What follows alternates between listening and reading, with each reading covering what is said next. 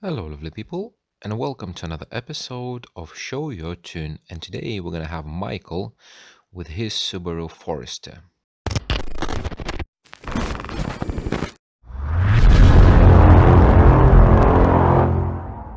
Before we go into the tune and see any pictures, just reminder that this is kind of new series that I'm doing where I'm taking your REW measurements, some of the photos that you send, a description, and I'm making a video about it. So if you want to uh, give me your details and share your secrets, you can send an email to rawcaraudiotuning at gmail.com and I will do this with your car. It can be anonymous, it can be not a full tune, it can be just raw measurements, whatever you want. So let's have a look. So Michael writes, uh, and he gives me all his equipment. So he has a Helix DSP Pro Mark II, which is uh, same DSP that I had. I just sold it. Uh, Helix A4 four channel amp, audio system four channel amp. So audio system i'm not familiar at all with this brand but he has it. Uh, Rockford Fosgate that's for rear fill just a small little amplifier. Uh, tweeters again audio system uh, mid bass audio system and one of the subs he has so he has two subwoofers uh, different measurements for them. So one of them is the audio system 12 inch, and the other one is Hertz. Uh, is it a 10 inch? I think it's 10, 10 or 12 inch. I think it's a shallow mount. And he has mid range Hertz, uh, Mille Legend, uh, and rear fill. So for the rear fill, it doesn't really matter. We're not going to look at it at all. And he sent me loads of basically all the data sheets, which is very, very useful. And I want to look at a few things. So first of all, that unfamiliar uh, amplifier, which is this one. And the most surprising part of it, so this is um, 175.4, and this is four times 175 watts into four ohms. It's a massive big power amplifier and bridged into two ohms, two channels, two times. So it's like 2K amp, which is so surprising. And you're going to see in the pictures, it's massive. And another thing I want to have a look very quickly is the because I'm not familiar with this brand at all. So the tweeter, which is this one, uh, it's where is it? FS 850, so quite low, nine, almost 91 dB efficiency. It's a cool tweeter. This is the mid bass. Um, from the specs, it's not really special. However, so FS is 60 and sensitivity is 93 dB. Well, it's 2 2.8 volts, but it's still like 90 91 dB efficient. So it's uh, very efficient and quite low FS mid bass. And MMS, so moving mass, is only 8 grams, so it's very very light. So it's kind of cool mid bass driver. So and the subwoofer, which is this one so this subwoofer, 12 inch, it has an FS of 38 hertz. So it's kinda and RMS 1000 watts. So I, I don't want to say it's SPL oriented, but it has a higher FS, uh, 0.5 QTS, so it can be used in in sealed ideally, but I think he has it imported. So I want to say this is mm, SQL maybe, but definitely not an SQ uh, subwoofer. So let's have a look at some pictures. Send me some pictures. So this is amp rack. This is outside of the car, and this is inside of the car. Uh, this thing, the capacitor, I would highly advise it to bin it. I can see that it's connected directly to the um, this four channel that supplies the subwoofer I would imagine. But yeah, if you want a cap, go for super caps. I think what's the brand Maxwell, Maxwell super caps. So like if you have it like five or six in, um, I think they connected in series. Those super caps are gonna be much better than this cap, or just get a bank of lithium. But yeah. So a little bit of a spaghetti, but it's fine because all the wires are secured. Uh, the only thing that I don't see is any of the fuses. Like I like to overfuse my stuff. Uh, it's it's like amps have fuses, internal fuses and everything. And like for DSP as well, I can see the DSP goes directly in there and it doesn't have any fuse. So I would just advise instead of this uh, distribution block, just have a fused distribution block because I, I don't know, I love fuses. Uh, mid bass in the doors, lovely to see. So I think it looks like Bal Baltic birch ply plus aluminium rings. Very, very nice, sturdy, good install. And this is his dash. So he has, see, he made like in the dash locations, the mid-range and the tweeter so it's fiberglass, looks like fiberglass, kind of mini pillar build and sanded and it looks looks like this. So this is before the trimming and everything but we have so we will see this in the measurements as well. The mid-range is firing up the glass and as you can see the distance to the glass is quite high and because this will um, give you the cancellation. We're going to see that. And tweeters are kind of on the inner side of the mid-range. So he said that at the moment, uh, he cannot put them in the pillars, but he's planning to put the mid, uh, the tweeters in the pillars. But they would be like here, perfectly mounted. So even if it's, I would advise you, like Michael, if you can, just rip them out and just stick it with double-sided sticky tape or something to the pillar. And it's going to be uh, i would imagine much better than having them um, like because you're losing the width and you want for, especially for the tweeters you want them to be as wide as possible. But yeah looking good. Uh, again what i would like to see is mid-range closer to the glass so it would be less distance but i would imagine this glass because it's kind of a the Subaru Forester is kind of an SUV almost. So I would imagine it has like a steep angle on the glass and not very shallow. But yeah okay so these are the pictures. Let's have a look at the measurements. Yeah. So all these measurements so we have we have a house curve we have some measurements and we have some raw measurements at the bottom because he sent me first when he sent me. I didn't have any raw measurements but uh, let's have a look at the house curve that he chose. So this is a full tune done by him not only raw measurements but with eq and everything. And we're gonna have a look. So we have crossovers at 3k 300 yeah so like 300 for those Mille Legend mid-ranges are perfect. They could play a bit lower, but 300 is fine. This tweeter uh, 3K, so from from the FS, I would say this tweeter could play lower, much lower, maybe like 2.2K or even down to 2K. I'm not sure about the distortion, but that tweeter is very capable. It can play low. The mid bass is crossed into the subwoofer at 60.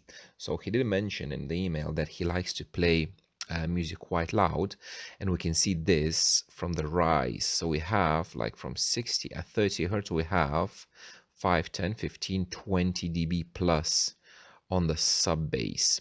So that's quite a lot. And in this system as you can see uh, from the house curve that he chose i can see that the mid bass is going to be extremely stressed out because you can see this mid bass has to play all the way down to 40 almost flat and only then fall down.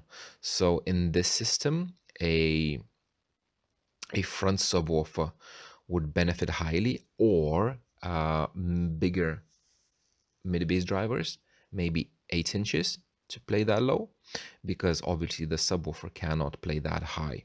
But 60 in a loud system is a bit low Okay, let's have a look at the raw responses. We have tweets. Uh,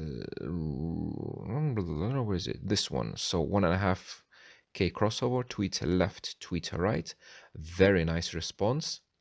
All the way up to 14 and 15 and a half K. But like, there's no massive peaks, no nothing. Like flat. You can just literally pull the level down and have them almost flat already very nice, very nice response for the tweeters. They can easily be crossed at three. Okay, let's have a look at the mid-range left and mid-range right. So this is with um, protective crossovers at 100 hertz. And as we can see, so this mid-range, it has an FS of like 110, 120, something like that. And you can see it starts falling like at 150 so you, you know that it doesn't like to play very low. So cross it at like 300. That would be ideal. And from the mid-range, we can see it plays 17K. So even higher than the tweeters, I want to say. Let's have a look. Um, tweeter left, tweeter right. Yeah, so it, it these mid ranges play almost higher than the actual tweeters aimed at the glass. And here we can see on the, which one is it? This is the right one. So on the right one, there's a massive, massive dip at like 250, 260. Not sure about this dip. So right one, uh, that's going to be the passenger side.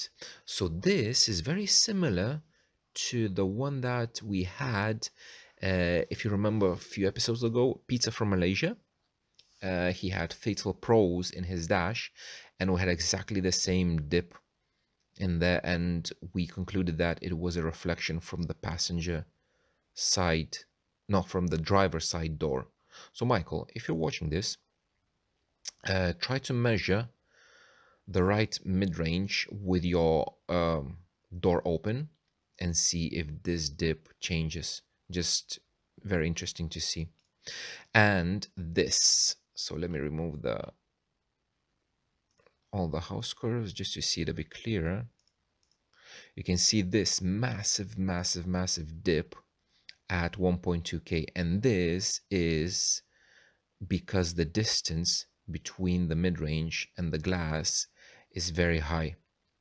If you would have like the mid-range much closer to the windshield and the distance would be lower that wouldn't be as high and as deep it would be probably higher and not as deep but this is massive massive just because of the distance to the glass. And yeah you cannot do much unless you're gonna aim them. So like i'm doing in my car if you could because you have loads of space here you could literally like put almost like 45 degree angle um, like a pod exactly like the tweet yeah. So you would need to aim this mid-range exactly the same like the tweeter. And then it would help with this dip. But apart from that, we have very nice top end, very nice here. Everything is very fine. So mid-range, mid-range, uh, bass right, bass left. Yeah, so yeah, they play down to 40 and after 40 fall down. So in the doors, and it's not a bad response from the doors but yeah again we see these things a dip like a 180 this is a massive hole. And on this one yeah doors 150 you cannot do anything about it. So this this and then we have and this is exactly what i mean. Like if i have these both mid basses and the house curve for the um, tweet is this a mid? Mid range this one mid bass. Yeah so you can see like with no crossovers applied um, the frequency response kind of follows the house curve down to like 40 only. And if you need to apply the crossovers which you actually need to do it's not going to follow this house curve. So Mm, yeah, it's not ideal, but we're gonna see how he tuned this. And let's have a look at the subwoofer. So we have subwoofer. So this is the MPS. So this is the Hertz because he has two. So this is the Hertz one. And at the top somewhere here, bass left, this one. Yeah, so this one is his subwoofer crossed 20 and 60. So 20 is a subsonic filter because it's important enclosure. And 60, uh, it doesn't look like it's crossed. But yeah, so both of these, you can see, they play very similar. They have a massive peak at about like 40, 45 hertz. And then not that much of the low end. But we can see that his ported, for some reason, has a massive peak here. But on both of them, we see this cancellation, which is like at 80 hertz or something, which is again due to the length of the car and depending on the position where the subwoofer position because it's not shown in the picture so if he has it like behind the rear seats uh, this may be because of that so let's have a look how he tuned everything. So he chose tweet uh, okay. Tweet across a 3k left and right. Let's double check against this. Yeah, very nice. So in this particular case, you can see the tweeters across at 3K and the house curve is at 3K as well. So in this particular case, um, the acoustical crossovers kind of match the electrical. It doesn't happen often, but in this particular case, particular case it does happen. So it looks very nice. It just needs a little bit of eq so let's have a look what eq job he did. Right tweet xo tweet uh, right eq there we go. Very very nice. Yeah not perfectly following but following. So i can see here like down the slope. Yeah see down the slope. So this is follows all the way down to like one point something but this is a bit more energy. So what i advise you to do is depending on the crossover that you chose choose a slightly higher slope. So if you chose like 24 dB try 36 dB just to bring this uh, area down alternatively you can choose a higher crossover frequency and then just all of this is going to go down and then you will need to slightly boost this area with EQ. So that's left tweeter. Uh, do we have the same with the right tweeter? Right and tweeter. Was I was I looking at the left one? Yeah, but they're exactly the same and exactly the same problem. So you have this area is falling perfectly down to here and then you have excessive energy here. Or alternatively, you could uh, grab one EQ. Uh, no, but this is C. It goes all the way down to here. You could grab alternatively like one EQ band at about like 901K with wide Q, like 0.5 Q, and just bring it down by like 5 dB or something. Just get rid of this excessive energy down there because uh, it's not needed there. So that's the tweeters. Let's have a look at the mid-range. Mids mid left. So he crossed them at 303k. Let's see. Yeah, so from this, basically top end, bottom end. Yeah, and again, this dip, you cannot do much with this dip. Where's the Q mid left, mid right, mid left. So yeah, level, leveling, what I advise you to do again is eh, to do the level matching only after you do the EQ.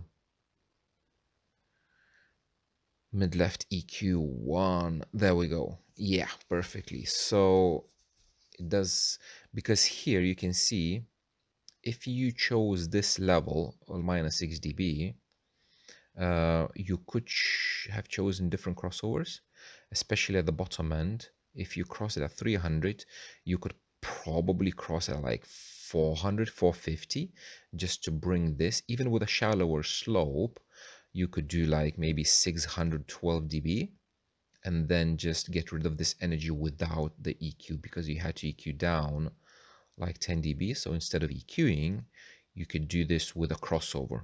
And similar here, just a little bit uh, lower crossover. So if you chose 3K, maybe lower it down to 2.8, 2.7K, and just bring this down without using EQ. Yeah, and this dip, yeah, you cannot do anything about this dip, so it just stays there because if you're going to try to boost it, it's not going to sound that great. Mid left, let's check mid right, exactly the same, too much level. Mid, okay, so right mid range because mid left, mid right. Yeah, because of this dip. See, because of the, this, this dip, you have much better following to the target with the same crossover, which is great. And this looks very nice as well. Mid-right EQ. Yeah, that's perfect. Just this, for some reason, this little dip. Uh, I don't know why it's there, but you should uh, think about getting rid of it because why? Yeah, but like mid-range left, mid-range right, EQ, very nice. And aha so okay look. Now this.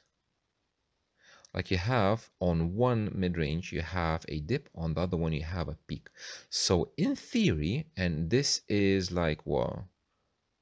Five like 8 dB difference so in theory if you're playing a like instrument a note or something of like 690 hertz it's gonna pull to one side because of the difference in level. Because if it's like like this 2 3 dB it's not that much. When you have like 8 9 dB because yeah it's like 8 probably 9 dB difference it's it's gonna it, it can pull. Ex exactly the same here as well. You have a massive difference between those two so just uh, yeah I would uh, maybe bring not boost this but maybe bring this peak a little bit down but yeah, mid-ranges look very nice. And follow the target as well. Let's have a look what he did with the mid bass So that's the mid bass target. Let's choose bass left full range and bass left. Okay, so he crossed at 60 and 300. So yeah, 60 it needs a crossover at 60 a higher would be better but mm, i guess it's fine. And we have too much energy here and you, see, you can see straight away it doesn't follow the target curve at all just because it needs that crossover. And i would imagine the right is exactly the same yeah so it does follow below 60 does follow and it doesn't follow the target. So in your case, um, in some systems, that's unavoidable because if you have a mid bass with high QTS, it's gonna follow by like fall by itself. You apply the crossover and it's gonna fall even more.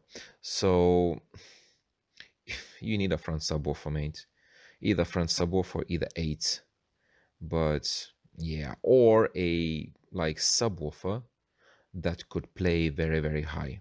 But yeah. So we have left let's check the eq work. Where is it? Bass left eq yeah so just bring this peak down and you cannot really do much with the top bottom end. It just it is what it is. It just doesn't follow the target. And with the right from from this we have this. Yeah. You could do very similar just with levels i would imagine because you just need to bring it down and this slightly down or again maybe with a shallower crossover so like bass right. Where's the bass right? Yeah, so you you crossed it at 300. What I, what you could have done, you could cross it at 500. Let me show you very quickly. 34 is this one, yeah? So you crossed it at, I would imagine, Linkwitz Riley 24, uh, 300. So you cross it like this, and you can see you're losing a lot of energy here, like uh, where you crossed it to the mid-range. So instead of doing this, because you lost like at, let's say 300 hertz, you lost like what, ADB, and here a lot as well, you could do a Butterworth, maybe 4 at 500 or maybe 4 and you can see it, it does go according to the your chosen target curve but it doesn't take a lot of energy from this area which is your crossover region. And like this dip like see at 470 it does follow like all the way up to 470 and only then it separates from the frequency response. So just play with different don't be scared to play with different uh, crossovers because like this energy you could bring it back. So yeah uh -huh. this and we have left and right bass.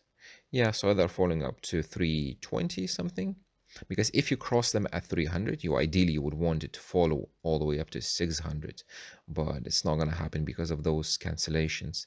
And at the bottom and again below 60 not much but you cannot do much about it. Let's have a look at the subwoofer.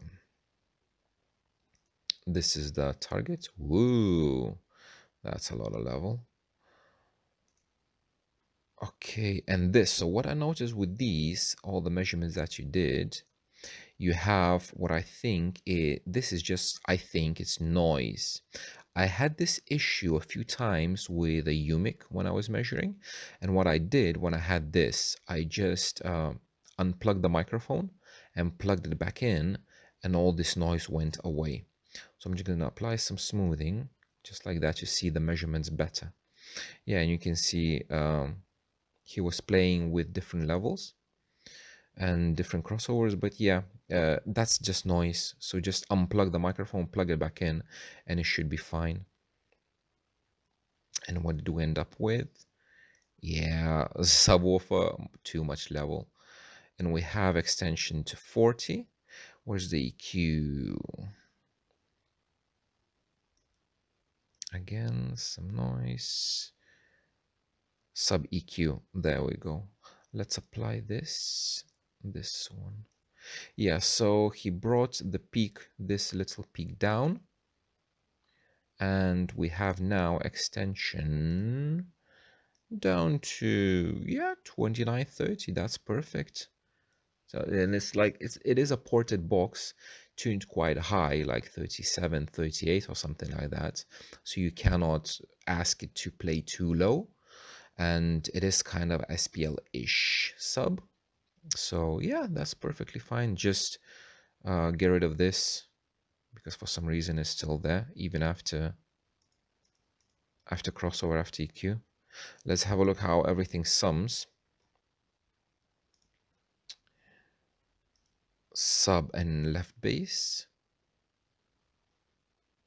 Yeah, it's, it's the first time I'm looking at these measurements so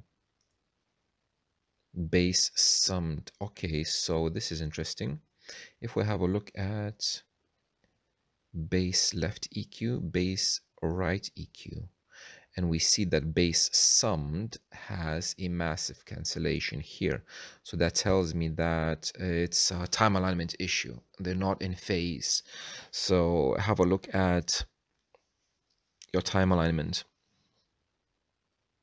Yeah, because if you have a can because like if you would have uh, a perfect sum, you would have plus 6 dB on all the frequencies and maybe a little dip here because of this dip, but everything should be like more or less equal.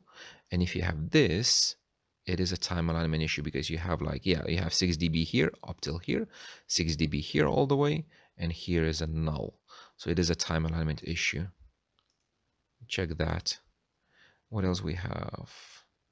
Tweeter summed. Obviously, they're gonna sum nice. Mid-range. Okay, let's have a look at mid-range. Uh, right EQ and mid-range left EQ. Yeah, they sum nice as well. So just a level difference. Probably he brought the level up back. But like with mid-range, what I noticed as well, like this area between like one and two and a half K, whatever, it's always very, very chaotic. This, this, this, and this. So this is your sum for all. So again, you played with the levels. Yeah, that's fine. Let's remove these. So this is time alignment issue. And this looks the... Aha, is it out of phase or is it just base right? EQ. This is going to be out of phase as well. Timing issue. It's not extension. I would imagine this is a timing issue as well. So mid bass, double check your mid bass, left and right, and then uh, timing phase alignment between your subwoofer and mid bass as well because this shouldn't be there. It should be like going all the way there. Where's your target the bow overall? Overall? Yeah and i think yeah this uh-huh and this is for the Hertz subwoofer oh so what i want to show you about this the Hertz subwoofer so this is the full range and this is with 60 crossover and where's the target for the subwoofer sub. There we go. And you can see um, this you can EQ like down to 30 is fine. And then you're missing level here after crossing it at 60 hertz. So again, play with the crossovers and don't cross it at 60 hertz. Uh, 31. Let me show you what I mean. So this is your full range, yeah? If you cross it at Linkwitz Riley for 60. Yeah, you have it all the way like this. And you need this energy at like here, 70, 80 hertz. You need this energy. So what you do again, try Butterworth 4 at let's say 80 and you see it brings back all this energy and let's uh, let's compare this filter task generate from predicted there you go so you have this is full range yeah? And this is your crossed at 60 and this is butterworth crossed at 80 and you can see it follows the target curve much better. So it might be not 80 maybe need would we need like 70 but it would follow the target curve much better than your crossed at 60. Play with different types of crossovers. Try Bessel, try Butterworth, try different slopes. Don't get hung up on 24 Linkwitz Riley. Yeah. And in general, all your EQ work is fine. All, all looks good. The only thing is the timing. So like tweeters are fine, mid-range is fine. Your mid-bass has some timing issues and phase is not aligned between the subwoofer and the mid bass. But yeah, in general, looks not bad. Not sure how it sounds, but it looks not bad. Maybe a bit too much top end. Maybe just reduce the tweeters by like 3 dB. It's just, again, it's personal preference. And if you want more low end extension, because yeah, it's ported, try the same subwoofer that you have, exactly the same subwoofer, same box, shut the port with a pillow or something and then it's going to be a big sealed box because that subwoofer with a Q of like 0.5 it will work in sealed uh, it, it does have a quite high FS, but you will be able to extend the bottom end a bit further because the sub is not going to bottom out uh, like imported. So you can try that and play with the timing. Yeah, cool. Uh, thank you very much for watching, guys. I will see you in the next one.